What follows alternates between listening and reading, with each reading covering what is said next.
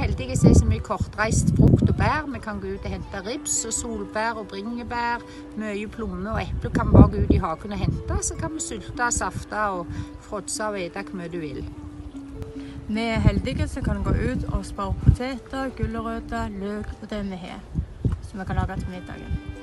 Hos meg er det viktig at vi får lært videre til de yngre, så det ikke bare blir ete pizza og pasta. At de får med seg verdiene av det. Vi har vår. Hva er det som er det?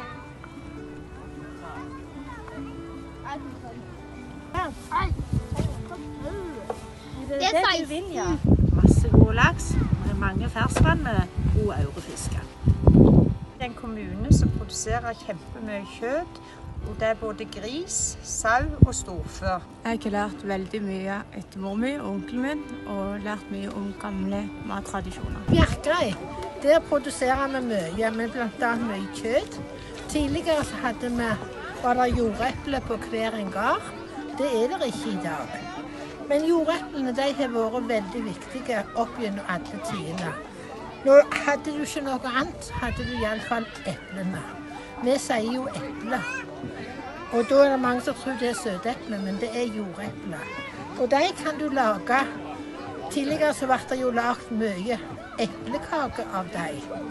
Og flatbrød. Det var jo flatbrød som var i groen hverdagsmaten. Så det var som hun Sirdalskona sa. De velsigna jordeplene. Hadde de ikke mat likevel, så hadde de iallfall det.